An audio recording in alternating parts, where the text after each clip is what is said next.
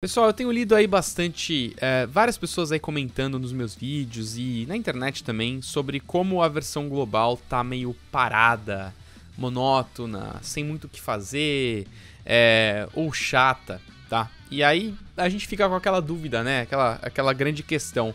Será que a versão global tá passando por algum problema mesmo? Será que a gente tem um problema sério com a versão global?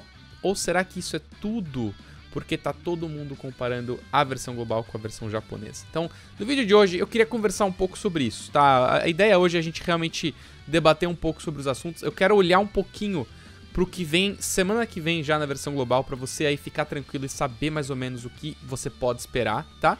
E aí vamos tentar entender é, por que, que rola essa diferença aí entre a versão global e a versão japonesa, tá bom? Então antes da gente já pular para esse vídeo hoje de conversa, não esquece do seu like, cara. Se você gosta de vídeos assim, vídeos mais tranquilos, de bate-papo, cara, deixa o seu like aí que ajuda demais o meu conteúdo e mantém aí, me mantém muito engajado a continuar produzindo conteúdo todos os dias aqui no canal. Tá bom? Então, pessoal, vamos lá. Primeira coisa, esse evento aqui, All Battle, Chaotic Future World, esse evento já tá rolando faz um tempo, a gente tá na parte 2, um, e ele vai acabar agora, dia 28. Tá, segunda-feira. Segunda-feira, essa campanha acaba. Tá bom, se a gente olhar no calendário, pessoal, bem rápido, tá? É, você pode até abrir o calendário aí do seu lado. Dia 28 é justamente o último dia de fevereiro, tá? Então, a próxima celebração, ela vai rolar aí durante duas semanas, porque na metade de março, na segunda metade de março, a gente vai ter o famoso Saiyan Day. Saiyan Day é uma, é uma campanha global que une a versão global e a versão japonesa numa só, tá? Então a gente vai ter aí, final de março, uma campanha entre as duas é, diferentes é, partes do Dokkan, né? E a gente vai provavelmente conseguir aí um novo personagem Saiyajin. Muito se fala sobre um novo Broly, é, novos EZAs aí do, por exemplo, do Vegeta Evolution, que já foi anunciado é, durante o Battle Hour, tá? Então pode ser que o Vegeta receba o EZA dele ao mesmo tempo nas duas versões, tá? É um personagem que já tá há muito tempo aí nas duas versões e faria muito sentido ele receber o EZA dele agora, tá? Mas a gente não tem como saber o que, que vai vir no Saiyan Day. O que a gente pode saber é, bom, beleza, isso aqui acaba dia 28, tá? Essa é a última campanha. Essa campanha, pessoal, quando ela saiu na versão japonesa, ela foi muito forte, tá? Porque, primeira coisa, os androides são personagens muito bons, tá? Não só esses androides aqui, mas esses androides aqui também são muito legais. De modo geral, é uma campanha que trouxe EZAs legais. A gente teve agora o EZA, por exemplo, do Gohan, a gente teve os EZAs dos androides 17 e 18. Foi uma campanha, na época, ano passado, muito poderosa. E ela veio aí, o que? Final de novembro, mais ou menos. Uh, mas agora, na versão global, tá todo mundo tipo, pô, é isso? E, e, assim, a gente tá recebendo, inclusive agora, galera, esses EZAs aqui. Eles chegaram mais cedo pra gente do que uh, na versão japonesa, tá? No Japão, eles receberam isso aqui em janeiro. Isso aqui foi durante a campanha do Goku com o Majin Buu. A gente tá recebendo isso aqui na versão global agora já pra gente fazer, tá? E isso aqui, pessoal, façam, tá?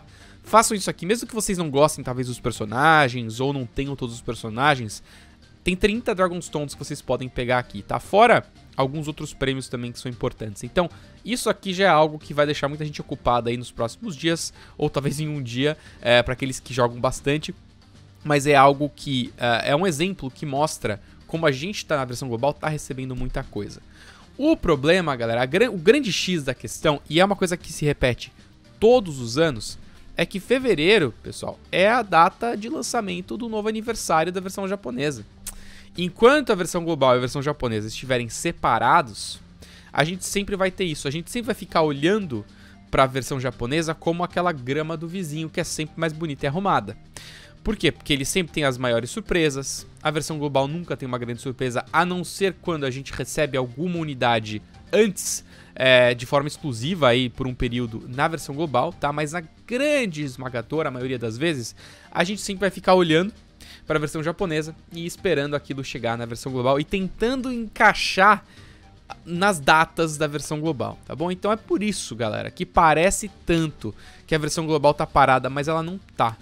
Eu queria muito frisar isso para vocês. A gente tá com uma campanha bem legal agora, a gente não tem muito o que reclamar, a gente tá recebendo, inclusive, recebemos um novo banner Melhor pra galera mais novata no jogo, com certeza, mas a gente tem recebido algumas coisas a mais do que a versão japonesa, mas não dá pra competir com isso aqui, pessoal. Eles agora receberam isso aqui. acabaram de receber os EZAs do Goditão e do Vegetão, velho. É, eles estão entrando agora no Team Battle, eles têm essas novas fases aqui desse evento bem difícil, essa Red Zone. É, eles estão com muita coisa acontecendo, tá bom? Então, não dá para competir com tudo isso. Mas assim, galera, tudo que vocês estão vendo aqui, eventualmente vai chegar na versão global, tá bom? Data de aniversário da versão global é julho, tá bom? Então a gente tem alguns meses aí pela frente ainda, o que? Uns 4, 5 meses pela frente. Junho é quando a gente já tem o countdown, mas é julho que a gente tem essa celebração. E aí ela dura aí o mês inteiro de julho, tá bom? Então isso aqui vai chegar pra gente, galera. Não se preocupa, tá? Mas não dá, não dá pra gente simplesmente falar que isso aqui é ruim. Talvez o que seja um pouquinho ruim é o que vai rolar logo mais na versão global. Porque como eu falei pra vocês, nessas duas semanas de março, né, a partir do dia 28 de fevereiro até a metade de março, até mais ou menos dia 17 de março, a gente vai ter uma nova campanha. E existem duas possibilidades de campanha que a gente pode ter, tá bom? É, então vamos aqui para timeline japonesa. Primeira campanha que a gente pode ter foi uma campanha que aconteceu em outubro, na versão japonesa, lá no final de outubro, tá?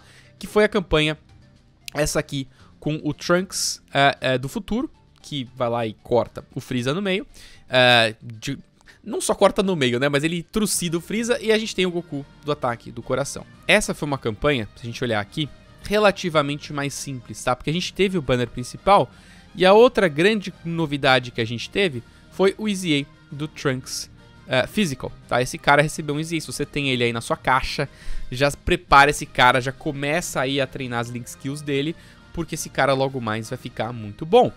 A gente tem inclusive mais um Explosive Chain Battle vindo por aí. E esse é contra o King Cold, tá bom? É nesse evento aqui que a gente vai ter que usar o Trunks como o melhor personagem. A gente agora tem um novo Chain Battle, mas é contra os androids. Por quê? Porque a versão global ela meio que pulou é, essa parte aqui, esse, esse Trunks, direto é, pra celebração dos androids. Não só isso, vocês devem ter visto meu vídeo de gameplay ontem. Se você não viu meu vídeo de gameplay ontem, vou deixar no card aqui em cima. Lá eu, eu jogo o uh, Dragon Ball History, né? E naquele evento a gente tinha três missões principais, né? Uma missão que você tinha que derrotar o evento o mais rápido possível e outras duas missões de categorias, tá? Uma é Bond of Master and Disciple e a outra era uh, Entrusted Will, se não me engano, que é uma categoria que surgiu com esse Trunks, esse Trunks aqui. Então, o fato da gente ter pulado essa celebração, a gente acabou até perdendo aquela missão Olha, olha que maluquice, cara. Tem uma, as coisas estão acontecendo de uma forma muito esquisita na versão global. Por que, que então eu tô falando que isso aqui deve chegar antes? Porque, bom, primeiro, a gente já tinha pulado esses caras, então não faz muito sentido a gente continuar pulando esse evento. Eu acho que esse evento agora aparece finalmente na versão global. E ele também é um evento simples, tá? Eu acho que em, em duas semanas você consegue lançar em uma semana o banner, na outra semana você consegue lançar esse EZA aqui, tá? Com um banner. Talvez fique um pouco espremido, mas talvez eles joguem esse banner Legendary até o final de março.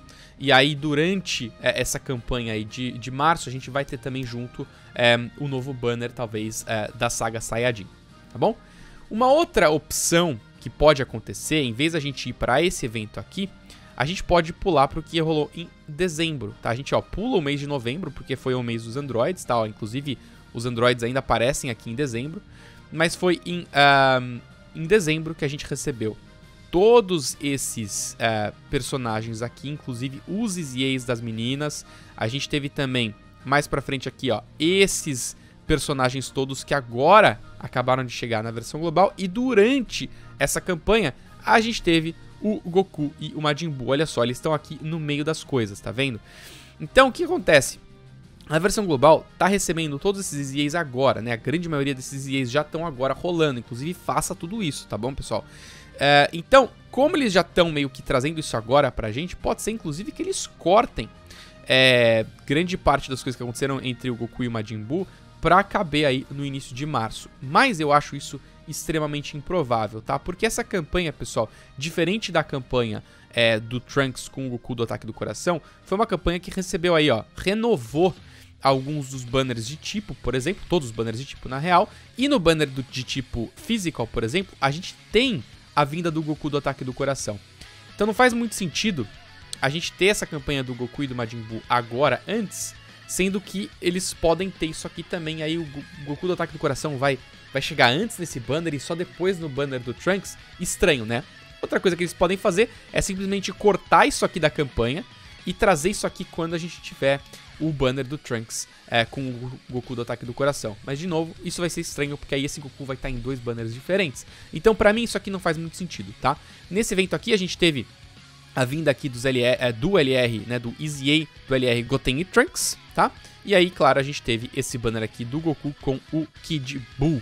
Então, esse banner aqui, em vez de chegar agora em março, a minha expectativa é que ele chegue em abril, e aí a gente vai ter em abril duas partes, tá? É, em abril, geralmente, é o mês em que a gente tem um Dual Dokkan Fest. Uh, ano passado, se não me engano, foi com o Pai Kuhan, se eu não estiver enganado. Então, esse ano a gente tem Goku e Majin Buu, provavelmente aí em abril. Tá bom? Então, pessoal, tem muita coisa para rolar na versão global. O problema é que tudo isso já aconteceu na versão japonesa. Então é muito fácil pra gente olhar para tudo que tá acontecendo e falar, nossa, versão global, é, que flop terrível e não sei o que, não sei o que lá. E, e, não é verdade. A gente só tem aí uma versão japonesa bombando pra caramba. Mas quando eu chegar a julho, a gente vai finalmente poder dizer o mesmo da versão global, mas tudo que acontecer em julho vai ser meio que já esperado, então não vai ter o mesmo gostinho do que tá rolando na versão japonesa, tá? Isso só vai mudar, galera, se algum dia a gente tiver a versão global e a versão japonesa juntas, ou então se a versão global receber algumas coisas antecipadamente ou de forma exclusiva, e aí fique brincando entre versão global e japonesa, tá? É, acho muito difícil eles conseguirem atingir esse patamar de uma vez a versão global tem uma coisa nova, outra vez a versão japonesa tem outra. Eu acho muito mais fácil para eles integrar tudo, tá? E tem muita gente que fala que, pô, mas isso vai ser impossível, porque a versão japonesa tá o quê? 4, 5 meses na frente? Galera, é só eles acelerarem um pouco como eles estão fazendo agora com os EZAs é, das fusões, tá? Você começa a lançar algumas coisas de parte 2 antecipadamente. Em vez de você ter uma campanha é, de um mês, você diminui essa campanha para duas semanas e você comprime um pouco as coisas. Vai ficar um pouquinho em algum momento corrido demais, mas aos poucos às vezes você não pode, não, você não precisa nem necessariamente de um mês passar para duas semanas, você pode passar para três semanas. Você começa a diminuir uma semana de cada campanha até o momento em que você encontra a versão global com a versão japonesa, tá? Isso pode acontecer, uh, quem sabe, vamos ver o que eles vão escolher. E claro, qualquer novidade, qualquer coisa que a gente souber, qualquer rumor, vocês sabem que eu vou trazer aqui no canal. Tá bom? Então, galera, continuem aí firmes e fortes. A gente tem bastante coisa acontecendo na versão global, sim. É, tem muito evento aí pra gente fazer, coisa pra gente farmar.